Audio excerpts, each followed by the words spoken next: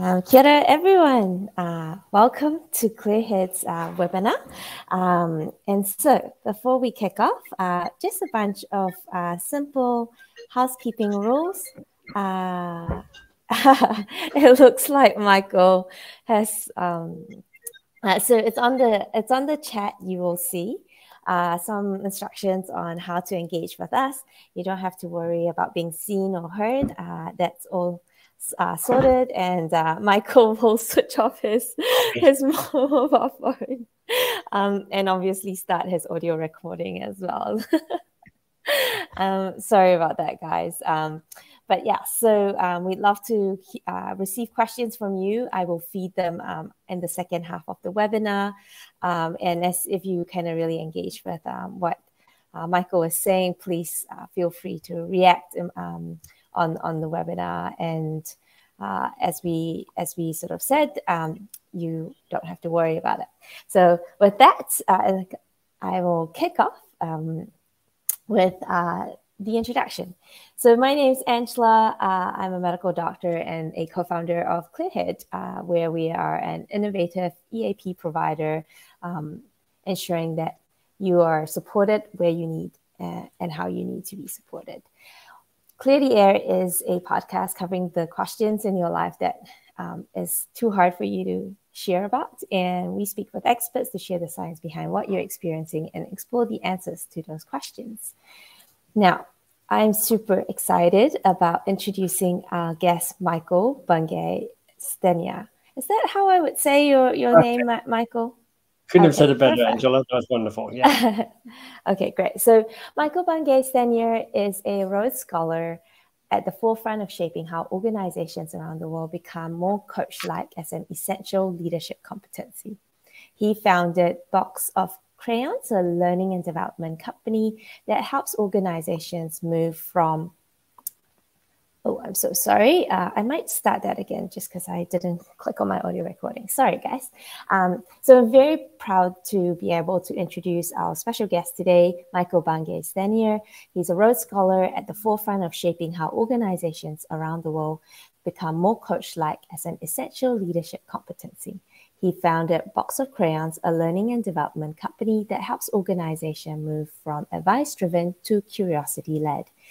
They've trained hundreds of thousands of managers to be more coach like, and their clients range from Microsoft to Salesforce to Gucci.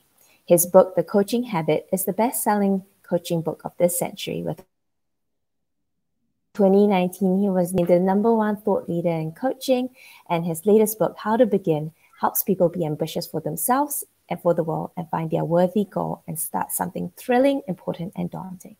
And in fact, his first published piece of writing was a Harlequin romance story involving a misdelivered letter. And it's called The Male Delivery, and mail being spelled M A L E.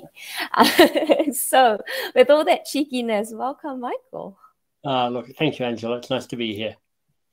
Wonderful. Well, maybe um, you could share a little bit with us. Um, what made you start uh, being down this path of coaching people to be a coach. And in fact, I didn't say you you even uh, managed to um, coach uh, Brene Brown a little bit, and she's mm-hmm. obviously known as the renowned coach on vulnerability.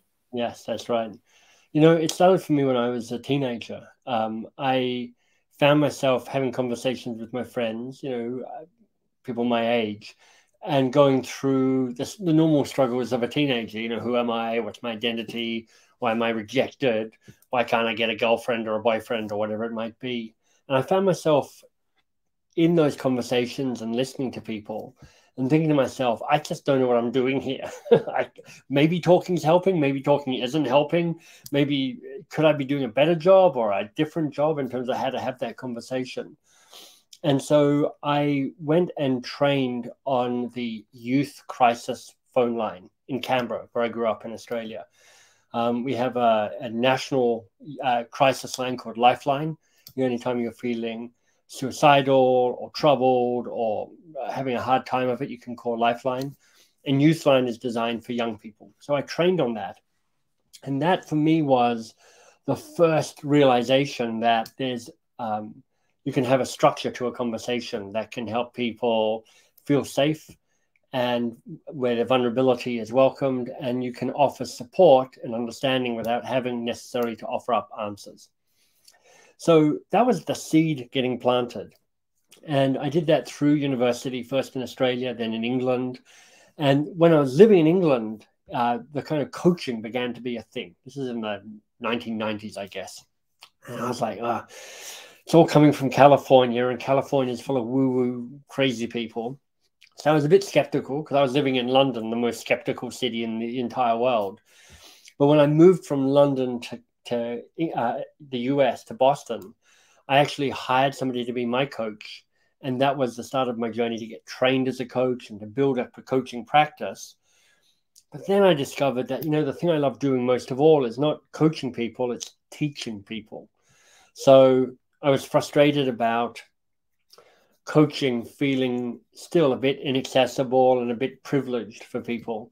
So that's when I went on this journey to go, how do I make coaching unweird and make it feel like it's an everyday tool for just normal people as well? That's great. Maybe I guess that's a good segue to maybe tell us a little bit about what is coaching and how do you apply that in the context of everyday people and then how yeah. do you apply that in the context when it's more managers and people leaders yeah, look, it's a great question. What's coaching? Because I'm not sure anybody has a very good answer, or at least everybody has a good answer, but it's quite different from everybody else's answer. So, coaching is one of those words that most people have now heard of. But you know, are we? Is it sports coaching? And is that the same as life coaching? And is that the same as executive coaching? And is that the same as ADHD coaching? And is that the same as youth coaching? And is that the same as parental coaching. I mean, now there's all these different niches. So you can define a definition can be about the outcome or it can be about the process. So often for an outcome, the goal of coaching is help people to have a better life, whatever that might be. So sometimes it's about amplifying the good, Sometimes it's about getting clear on the choices that you want to make towards your, your better life. Sometimes it's about managing the stuff that's a, a struggle for you, that's difficult right now. That's the outcome. I tend to define coaching more as a process because I'm trying to teach people how to do that. And you can't control outcomes, but you can control your process. So if you're trying to be a coach, or as I would like to put it, to be more coach like, because you don't have to be a coach to use the power of coaching. So being more coach like. For me, that means can you stay curious a little bit longer? Can you rush to action and advice giving a little bit more slowly? Because most people are advice giving maniacs. I mean, they think that they've been trained all their life to be the person with the idea. I mean, you know, you're trained as a doctor, you've spent 800 years learning stuff and being tested on stuff and having the information. And there's some research that says doctors uh, GPs, general practitioners, interrupt their patients on average 17 seconds into the conversation. And I've always thought that that is a bit harsh on doctors because I think most of us interrupt people about 17 seconds into a conversation because as soon as somebody starts talking, your advice monster comes up out of the dark and goes, Oh, let me offer you some advice. Let me give you some ideas and opinions, suggestions, points of view, whatever. And there is a place for advice for sure. But being more coach like means staying curious a little bit longer, rushing to action and advice giving a little bit more slowly. So before you give your advice, why don't you find out a little bit more about what's going on and what really matters and what the real challenge is so that when you get your advice, it's the best possible advice. Uh, yeah, and I think I passed the test. I did not interrupt you um, within that 17 seconds. Well done. um, yeah, and I think look, the the what you've mentioned is all true. We are actually very bad at being active listeners, and that's something that uh, we believe if you want to be a good manager is a really key part of what yeah. it means to do that uh, and and of course there are many times where you you hear partners complain that they you know they just wanted to vet and here it is their partners giving them advice and they actually want to just be listened to because often yeah. these problems cannot be solved overnight and so um, just as an advice uh, if you find yourself often interrupting, you know, practice mindfulness. You know, um, if you find that you're you're you're just waiting to give the response, listen to, you know, like take a breath, um, focus yeah. on that um, before you kind of say whatever is in your mind. You know, actually listen rather than wait for your turn to reply. Um, well, maybe, um, well, you know, sort of, maybe you could share with us. You know, you you talked about the outcome is to kind of live a better life. Um, and when we chatted last, you said there were three main reasons that people are unhappy in their jobs, and our jobs are sort of one of the key uh, parts yeah. of our lives. So, do you want to maybe share with us some of the challenges that people face and how right. then introducing this coach-like uh, concept and process you've talked about uh, yeah. can help them address that? Yeah, look, um, for many of us, work is a really big part of our lives. You know, even if you don't like work and you're doing it just to get the cash, it's still 35 hours a week, probably, if you're working full time. And for many people, and probably the people who listen to this podcast in particular, work is not just a way of getting cash, it's a source of meaning as well. You're like, I get something out of at its best. I, you know, work matters to me, and I'm not just doing it for the money. I'm doing it for a sense of purpose and a sense of meaning. So I think there are three things that determine whether you're having a good time at work or not. First is this Are you working on something that matters? You know, do you have a goal or goals that you and your team are working towards that you're like, I actually care about this? I've got some skin in the game around that. So, purpose, stuff that matters. Secondly, what's your relationship like with the key people that you work with? You know, your boss is the most obvious, but there are other key relationships you have. Does that relationship suck or does it help you flourish? You know, there's a well known saying people uh, join organizations but leave managers. So if you haven't, if you've got a bad relationship with your manager, then you're not going to be having a good time. And then the third thing is, are you making progress in the work that you're doing? And I think coaching can help with all three of these. Coaching can help build a better relationship with your boss. Coaching can help you figure out what's the work you want to be focused on because most of us have too much stuff going on. There's a thousand different demands on your time and attention at work, so you're being pulled one way or the other.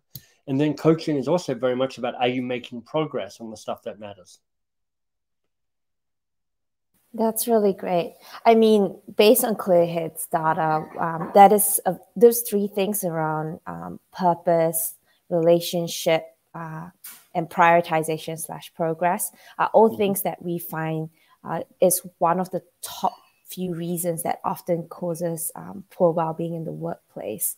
Yeah, um, yeah. Can you maybe share with us a little bit around how you've worked with these managers? Like you said, you've through your company, you've worked with thousands, you've written the books. Yeah. How have you worked through all of these three or four things that you've just mentioned? You know, talk us through some of the uh, outcomes you've been able to achieve and, sure. and the process that got you there.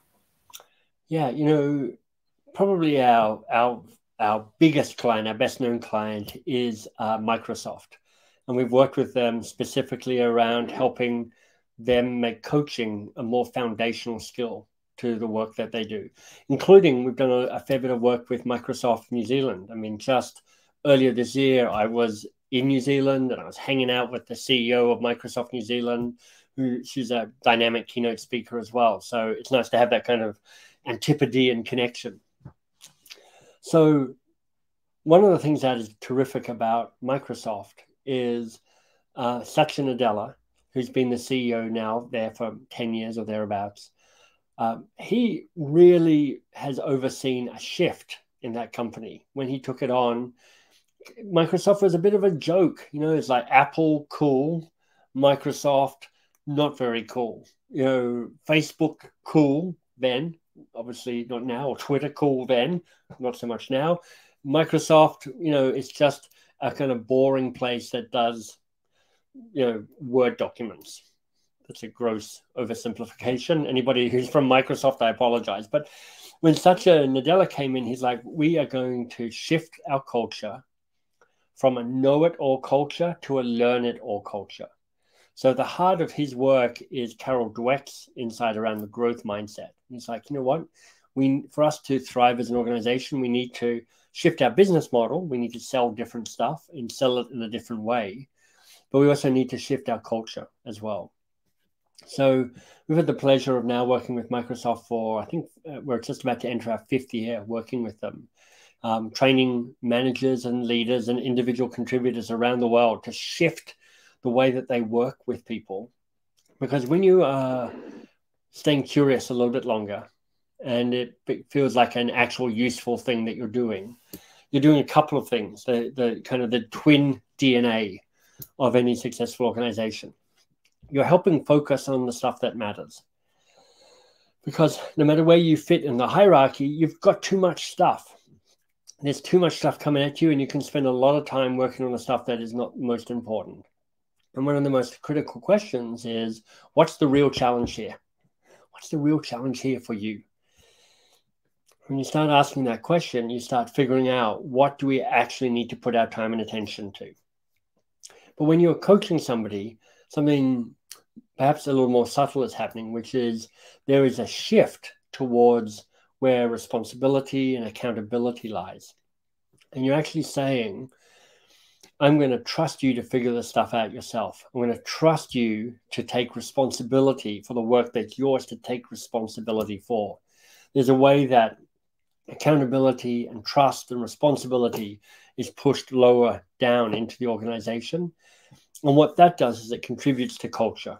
So now, not only are you more likely to be working on the stuff that matters, but you're more likely to be keeping the good people who are working on the stuff that matters. And so you build strategy and you build culture. That's great. And when we, you sort of, you know, you sort of said that the first question you asked is what's the real challenge here? When we last spoke, you mentioned that there's actually seven questions you asked yeah. to lead people down this path. Do you want to maybe share with us that those seven questions that helps drive the type of culture that yeah. you've described and created, basically? Well, I'm not going to share all seven because it becomes a bit of a boring list, but let me share some of those. So you've heard one of them, which is the focus question. What's the real challenge here for you? And I'll show you how you can combine that with the second question, what I often call the best coaching question in the world and what else? Because and what else recognizes that their first answer is not their only answer and not necessarily their best answer. So when somebody comes to you and goes, blah, blah, blah, blah, blah, blah, blah, and there's one part of you that wants to leap in with advice and solutions and suggestions because you're a good person and you're just trying to help. Well, you could go is like, okay, so there's a lot going on for you, Angela. What's the real challenge here for you, do you think? And Angela will go, ah, okay, blah, blah, blah. I'm like, fantastic. What else? What else is a challenge here for you? And then I'll go, what else is a challenge here for you? And then I'll lean in a little closer. I'll go, okay, so what's the real challenge here for you? And you can see what I've done is I've just asked the same question basically four times, but I've done it in a way with genuine curiosity. I'm being lazy. I'm not working too hard. I'm just managing my own anxiety about not sharing my answers and my solutions. Angela, on the other hand, is sweating it because she's having to do all the work now. She's really working hard to make this happen. So that combination, what's the real challenge here for you and and and what else is a really nice combo. The second the combo I want to share with you, and maybe we'll leave it at this after I've shared this combo, is how to start and how to finish a coaching conversation. Because, like with anything, people go, you know, once I get into it, I'm fine. But how do I get into it? And then they go, but once once I'm into it, I'm fine. But how do I finish it so it doesn't kind of trail off? So I call these the bookend questions. Question number one and question number seven in the Coaching Habit book the coaching number oh, question number one is the uh, the kickstart question, and the kickstart question simply and powerfully, what's on your mind? What's on your mind? And I know you know that question because it's the question Facebook use when they start their, uh, you know, asking you to post. But what's on your mind says, all right, let's have a conversation, you and me don't tell me everything. Don't report out on anything. Let's get into it. Let's talk about the stuff that matters most to you. You know, what's on your mind says, tell me what you're excited about or worried about or struggling with or wrestling with right now. Let's get into the real juicy stuff as fast as possible. So the kickstart question is how to start many conversations. And then the learning question is how you might want to finish it. And the learning question is what was most useful or most valuable here for you? And I'll share what I mean by that, why this is helpful. You know, Angela and I have been talking for 20 minutes now, thereabouts. You've heard me say a bunch of things. Angela said a bunch of things. Your, your brain is already full. you know, after honestly, after seven minutes, your brain is full unless you've processed it in some way, cleared it in some way. So at this stage, it's a little bit like pouring water into a full cup. You know, I'm just I'm saying all these amazing things, and your brain can't even take it in anymore. But if I say to you, okay, just pause for a moment. Like obviously, Angela's been brilliant, and I'm doing my best. Um, but what's been most useful or most valuable for you so far from this conversation in this podcast? You know, is it the questions? Is it the definition of coaching? Is it my story? Is it my interesting background? I mean, who knows what you've taken away from what was most interesting for you? But can you see how me asking the question forces you to crystallize and remember and extract the value from the conversation? And so many good conversations happen in life and in work where the the the, the gold dust, the pearls of wisdom, the little nuggets of gold are not properly captured. And asking that question, what what was most useful or most valuable here for you, is a question you can add on to almost any conversation. Talk to your your team, to your boss, to your peer, to clients, to customers, to people you're pitching you're going to get some interesting feedback about what's working. That's really great. I think that, you know, and I think what you're trying to say is it's very approachable. You know, I'm like, yes, these these things around how do I help my employees unlock purpose in their work? How do I help them basically prioritize what's important? It's not that I have to write this 10 page strategy. It's actually right. just taking the time to ask simple questions that you've even given us what those questions are. And right. then it's up to us to be able to listen. Um, right. But you know, you, you did say the whole point of these questions uh, is, is just to unlock uh, ability of self-awareness uh, mm-hmm. and then for these individuals to take responsibility and ownership about whatever challenges that they're going through and ask for help through this process That's but right. we have all also been in situations where uh, we talk and, and try and coach friends or colleagues uh, or uh, those that directly report to us that uh, don't really take that on very well um, and they really resist the coaching or, mm-hmm. or, they don't think they have a problem. Uh, how do you how do you manage you know what do you do differently in those situations? Well you're describing some different situations so there's not a generic one size fit all response but um, i think quite often when you say to somebody hey i'm going to coach you now they have an immediate response of kind of going, ah, how do I avoid being coached by you? I mean, you go all weird when you coach me.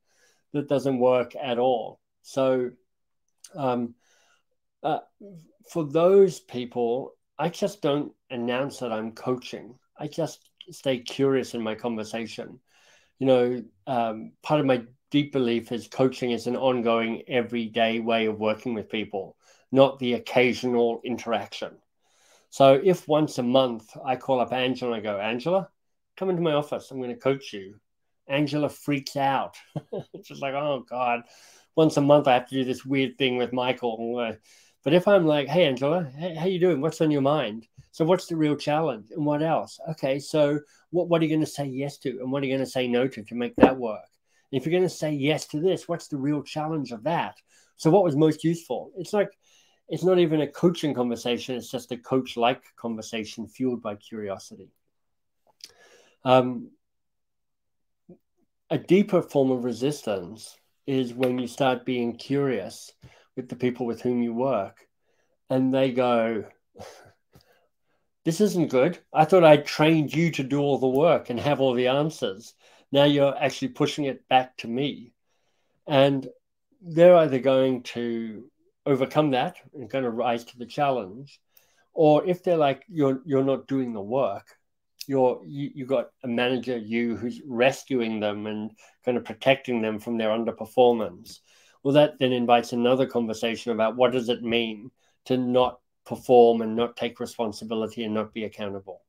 And how that's dealt with is very much down to individuals and also down to kind of corporate cultures and corporate organizations. Sometimes they get fired, sometimes they get let go, sometimes they get trained, sometimes everybody passively, aggressively ignores it and just hopes that things get better. And sometimes they do, and often they don't. Um, and uh, and then I can't remember what the, the third. There was, I had a third scenario that your question had set up in my brain, but I've already forgotten it. So I, no, I, I love to double click on what you've just said. You know, yeah. so let's like what is the best um, process of outcome you've seen in, in situations where look i think it is really hard to manage a team uh, mm. with a mostly remote and hybrid workforce um, and then if you do struggle with someone's performance how do you how do you support them through the process um, if you're yeah. not for example able to see the the the the progress that you want you know it's, not just the progress from the person themselves but also the progress of the person trying to be coach like right and yeah. so yeah i mean let's I, I think it's it's really hard and i think a lot of managers struggle with this so maybe would love to hear a little bit more depth on sure. on that so I'm going to say it's hard to manage people whether you're in person with them or managing them virtually. I mean, virtual has its own trickiness, in person has its own trickiness as well. It is hard to manage people um, because you're messy and human, and they're messy and human. So you have two messy humans showing up, doing the best to try and fulfill goals that are established by other people, typically your, your organization. So this is a big question, Angela. But one of the question, one of the things to go is, do we know what success looks like? Like I literally had somebody, I was talking to somebody of my team this morning, and I basically have not successfully or or, or appropriately set up success goals for her. So she's like, I don't know what's my responsibility and what's not my responsibility. And I'm like, that is true. You don't. And I haven't been clear about that. I just hope they would somehow just magically appear. And uh, funnily enough, they didn't. So until you have uh, agreed this is what you're going to be working on and this is what success looks like, it is hard for you to, to figure that out. Secondly, a lot of us resist giving feedback, as feedback has its own weight and our own anxiety about how do we have this conversation. So for feedback, I use a a simple model to help me understand what's going on and what may need to be said. Um, it, it has its origins in nonviolent communication by Marshall Rosenberg. And basically, very quickly, it's this everything that's going on falls into one of four different categories it's either data, in other words, the facts, judgments, your interpretation of the facts, your feelings. And I know Brene Brown has a, an atlas of feelings, but I use five mad, sad, glad, ashamed, afraid. And then what do you want or what you need? Any good conversation has those four elements. And what I do if I'm kind of stressing out about giving feedback is I just get the swirl of stuff that's going on in my brain and put it into those four buckets. What are the facts? what are my opinions? I'll have opinions about them and I'll have opinions about me and I'll have opinions about the situation. How am I feeling? It's often mad, sad, not glad, ashamed, and afraid is often all four of those. And then, really importantly, I'm like, what do I, what's the request I want to make? What do I want to ask for? And what I find is that when I get really clear about the request I want to make, the rest of the feedback conversation becomes easier because I like I know I know the end point of this. I'm not just telling them bad news for the sake of bad news. I've actually got something to say. I'd like this to be different next time. I'd like you to do this now. This is what's required for you to fix this. So I'd say um, defining success, learning how to give feedback. And the th- third element, and I'm still figuring this out because this is my next book. I've got a book coming out in June and I'm just writing it at the moment. Is how do you make your relationships with other people more repairable? Because every relationship gets damaged, everything has breaks and cracks in it. And that's not failure, that's just life.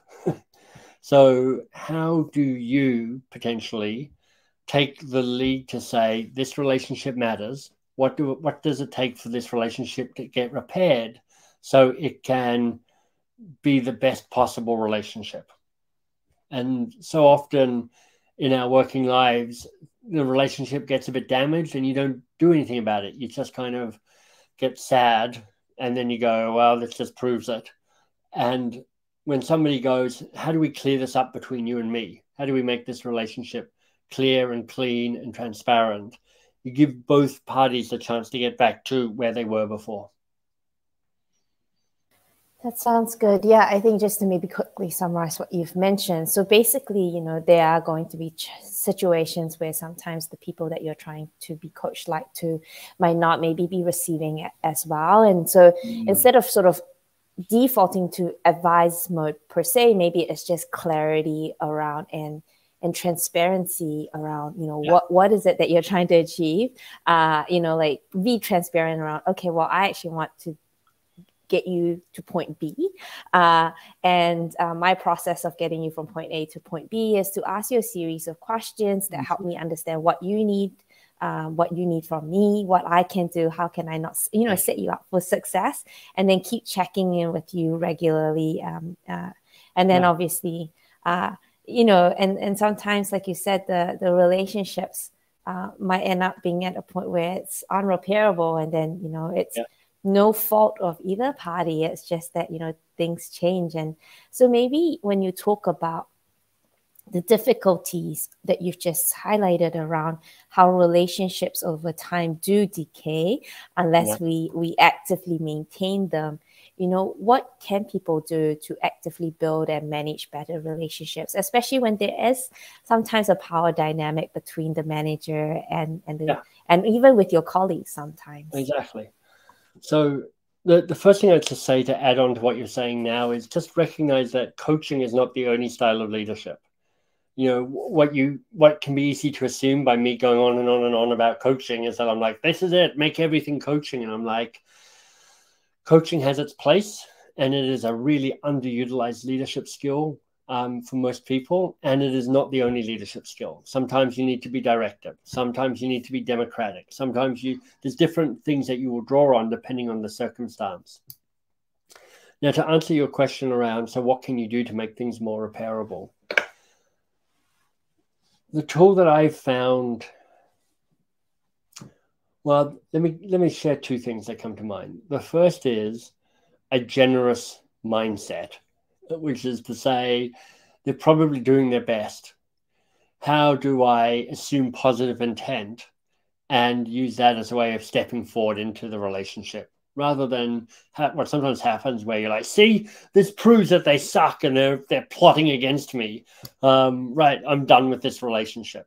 So, uh, API assume positive intent can be really helpful as a basic mindset. But I would say um, one of the most powerful ways to make your working relationship repairable is to have a conversation about how will we work together rather than what normally happens is you you just start and only talk about what will we work on. So it's just like meta conversation. So like if angela if i got came onto your team i'd sit down and go angela when you've worked with somebody like me in this position before and it's worked really well, what happened? I mean, what did you do and what did they do? What were the contributing factors that made that relationship really come to life? And then, and this is a trickier question, I go, and when you've worked with somebody like me in this position before and it's been pretty mediocre, a bit average, a bit underwhelming, what happened? What did you do? What did I do? And I'd have both of us answer that question. And what we're doing is we're giving ourselves permission to talk about the relationship, not just talk about the work.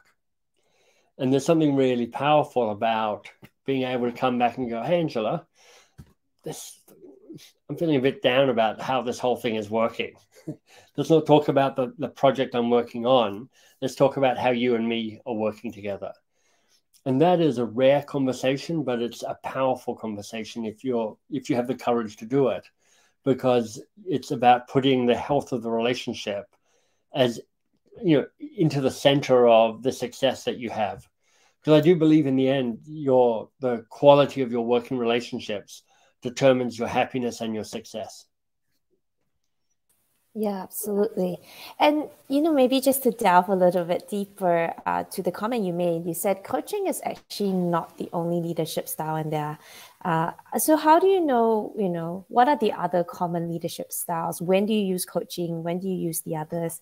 Can you maybe elaborate a little bit hmm. on that as well? I can give you a reference. So I'd encourage people to look this up. Um, a guy called Daniel Goleman. If you've heard that name, you'll have heard it because he's he kind of made emotional intelligence, he popularized the idea of emotional intelligence. And 22 years ago now, in the Harvard Business Review, Daniel Goleman wrote an article called Leadership That Gets Results. And he said this he said he'd done research, and there are six different styles of leadership. They all have their moments, they all have their, their prizes and punishments, their pros and cons coaching was one of the six different styles of leadership. It was the least utilized styles of leadership, even though it was shown to have direct correlation to not only the culture, but also an engagement, but also to bottom line profit success. I'm not sure I can remember the, all six of them, but you know, at least one is kind of basically autocratic. I'm going to just tell you what to do. I don't even care what you're thinking or what your opinion is. And that can be brilliant. Like if that like some years ago I was running some training in in a building and um, there was an earthquake and the whole room looked at me and this was not the time for me to start asking questions about what's the real challenge here and how are we all feeling this is the time for me to say everybody get up leave your stuff behind exit out the door calmly and we're going to get outside so that we're not in a building that's falling down because of an earthquake. It was a very directive, very clear, pretty autocratic style of leadership. And then there's like democratic. You're like, okay, so I'm going to I'm going to manage the group's opinion and we're going to we're going to vote on it and the group gets to decide on how we do it. And then there's a style, I'm not sure what the label is, where you're like, I'm getting everybody's opinion, but I get to make the final decision on this. This is my my decision, my choice. And all of these different styles of leadership, they all have their moment, they all have their pros and cons. And what Goleman's research found is that the typical leader uses two, maybe three of those six styles of leadership, but the most successful leaders know how to use all six at the appropriate time. Great. And from your perspective, when is the best time to use coaching as a leadership style? Well, I think so. You got confirmation bias here, having which is like I've got a lot invested in that bit, the power of curiosity. So you know you can take take this or answer or leave it as you see best. But I think there's very little lost and often a lot gained by assuming most conversations are best started with a question rather than a statement. Because even if in the end you need to shift from curiosity to decision making, it's easier to do it in that order rather than go from decision making to curiosity. It's kind of like it's that there's a natural order for things. And if you're like, okay, I need to, I, I'm going to make the decision on this topic but before I make my decision, let me just ask you, Angela, what what do you think the real challenge is here for you and for us? And I can still ask questions that will then allow me to set me up to make the best possible choice. Nice. And then, so I think what you're saying is it's almost a little bit like a spectrum, um, exactly. depending on how much time, I guess, you have and, and how much. That's why, uh, that's why my definition of coaching is can you stay curious just a little bit longer? It's not only stay curious. It's not never give advice. It's like just stretch it out. You know, a minute or two minutes curiosity can take you into a really interesting place. Awesome.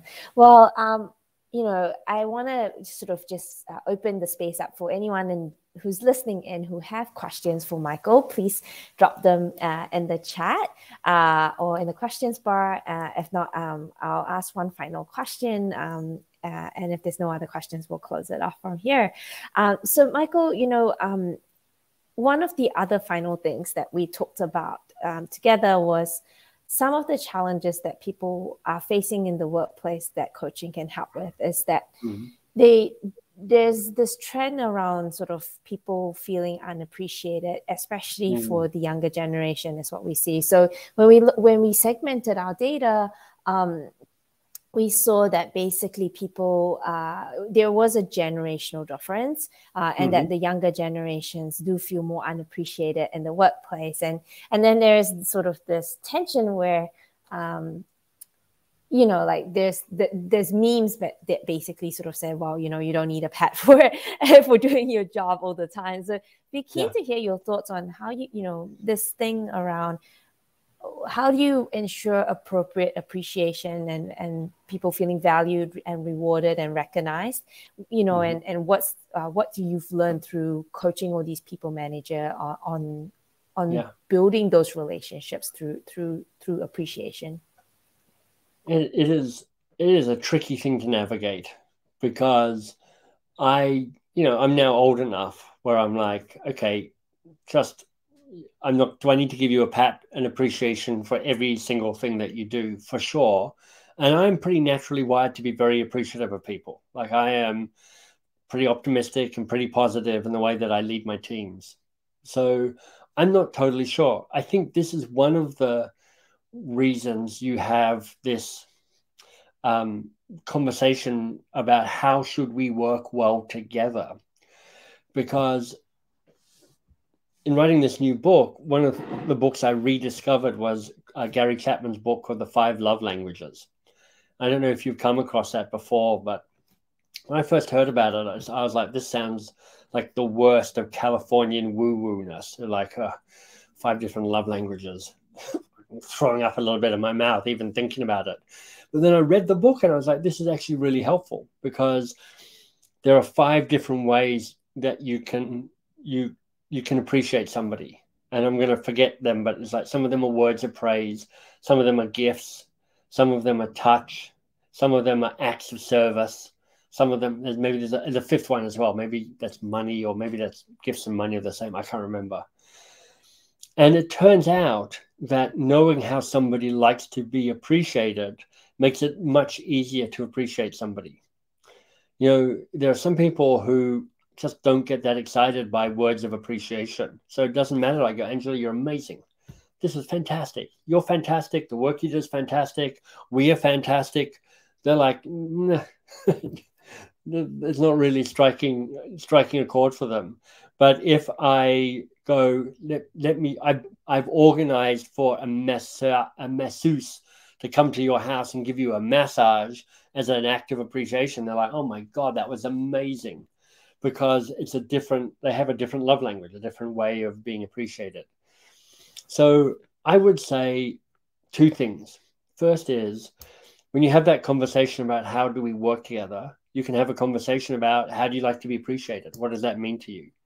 And secondly know their love language so that when you do appreciate somebody you have a better chance of it actually striking a chord uh, great. Yeah. And just to kind of let sort of mention what the five love languages are, they are words of affirmation, acts of service, receiving gifts, quality time, and physical touch. So it's probably a good thing that you yeah, it's go. probably a good thing that you forgot the last one because we don't want to encourage any sort of sexual harassment um, right, in the workplace. Appropriate physical touch. Yeah. appropriate physical touch. Um, you know, that it's been a great conversation so far is there anything else you'd like to share from your learnings um, uh, that uh, has me, not been shared yet? Let me pick up Anthony's question. What's your advice for coaching somebody who resists coaching and strictly wants advice, and particularly somebody who strictly wants advice? Because it's the it's often the easiest trigger to stop us staying curious when somebody comes up and goes, "Hey, Michael, how do I?" dot dot dot and instantly there's some part of your brain going, just give them the answer. They literally asked for you for the answer. Give it to them. And I would, I'll give you a script for how I, I respond to something like that. I go, hey, uh, Anthony, thank, great question. I, I know we want to figure this out. I've got some ideas, and I promise you I'll share with you my ideas on how to get this done. But before I give you my ideas, just let me ask you this. What's your best idea so far on how to deal with this? And then you go, great. And what? And what else? Great. And what else? Great. And what else could you do? This is Anthony, you're doing great. What else could you do? Now, that assumes that it's a somewhat more complex thing. If they come to you and they go, hey, Michael, where's the folder for the thing? They're like, just tell them where the folder is. Sometimes advice is the right thing to do. You're like, you're not going to go, hey, how do you feel about the folder? And if you had to guess where the folder is, where would you guess? And where else could you guess? And what, how else could you find the folder? That's just annoying. So, you know, back to that six different leadership styles, know the six different styles, use them appropriately. But when somebody comes to advice, I often do a little jujitsu and I go, I'll give you advice, I promise. I'll give you my best thoughts but before I do, tell me what ideas you've already figured out. What do you already know? Uh, great. And um, any final things that you like to share before I close it up? I think we've covered a lot in our time together. So I think I've got, um, if you're happy, I'm happy. that sounds good. Um, and uh, so maybe just to also uh, share the six leadership styles are authoritative, affiliative, democratic, pace setting, cohesive, and of course, coaching. Uh, which people can look up after as well. Um, well, we like to close off with our guests asking them one simple question of what do you do to stay well? Um, would you like to share with me uh, what that is, Michael? What's well, your one well-being thing? so I, I love playing soccer. I grew up playing soccer. I'm now 54, so I move even slower than I did as a young man. I've had assorted injuries for a year and a half. So on Sunday, I finally got back and played soccer for the first time in literally a year and some months. And I managed to pull a muscle within the first 10 minutes. So at the moment, the way I manage my well being is I attempt to recover from assorted old man injuries. wow. Um, well, pace yourself, I think, as you say. I, was, um, I, was, wasn't uh, even running. I was literally just walking along, and oh, my no. uh, my right calf muscle went twang. Oh Very dear. disappointing. Well, I hope that you uh, you have a speedy recovery, and thank you everyone for joining us, and, and Michael for being here as our guest. Uh, so, wishing everyone a very lovely day, and thank you everyone. Bye. Bye, everybody. Thanks for having me, Angela. Bye.